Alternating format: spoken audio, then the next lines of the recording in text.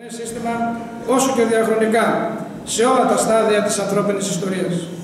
Οι πρόγονοί μας αρχαίοι Έλληνες που έδωσαν τα φώτα τους σε όλη την οικουμένη και πρωτοστάτησαν στη διάδοση πανανθρώπινων αξιών είχαν πρωτοτυπήσει και στο συγκεκριμένο ζήτημα αφού ήδη 2.500 χρόνια πριν ο Πλάτωνας διαπίστωνε πως αυτό το οποίο οι περισσότεροι των ανθρώπων αποκαλούν ειρήνη στην πραγματικότητα είναι διαρκής πόλεμος, ακήρυκτος μεταξύ όλων των κρατών συμφώνων. Η δεδομένη πολιτεία είναι εκείνη η οποία έχει οργανωθεί κατά τρόπον ώστε να νικάει στον πόλεμο. Αλλά και Θουκυδίδης είπε το εκ πολέμου γάρμαρον η ελληνική κατά το οποίο η στρατιωτική ισχύς είναι εκείνη η οποία εγγυάται την ειρήνη. Κυρίες και κύριοι, οι ελληνικές ένοπλε δυνάμεις ιστορικά και ως εκ της φύσης, προέλευσης και σύνδεσής τους υπήρξαν ένας από τους πρώτου ίσου εκπροσώπους του έθνους μας.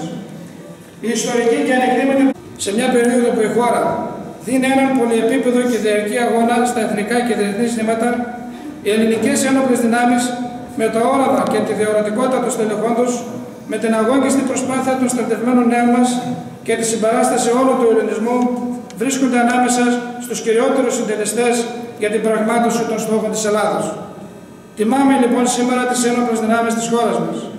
Στρέφουμε με ευγνωμοσύνη και σεβασμό το βλέμμα μας στην αμεδιοτελή θυσία και τον ηρωισμό όλων όσων έχουν προσφέρει το αίμα τους στην πατρίδα.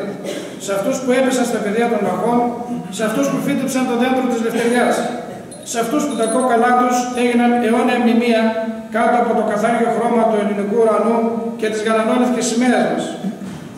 Σήμερα τιμάμε τον ήρωα και διαχρονικό αγωνιστή, την αδάμαστη ελληνική ψυχή του Έλληνα αξιωματικού, υπαξιωματικού και οπλίτη, που πολέμησε, πολεμά και θα πολεμά στις επάρξεις για να μπορούμε όλοι εμείς οι υπόλοιποι να προοδεύουμε σε έργα ελληνικά.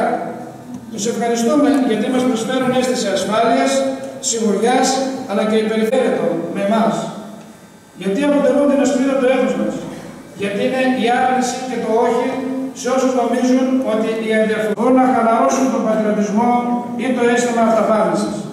Τους ευχαριστούμε και τους παρακαλούμε παρόλες τις αντικσοότητες να συνεχίσουν με πείσμα και αυταπάρνηση. Ζήτω το έθνος, ζήτω η Ελλάδα, ζήτω οι ένοπλες δυνάμεις μας. Ζήτω.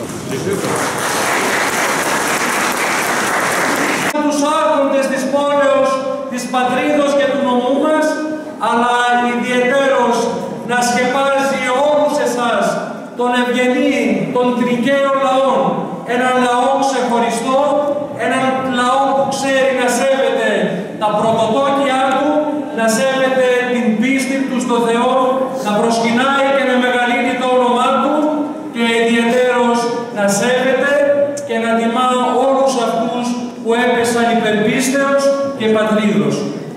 Τώρα θα παρακαλέσω πάρα πολύ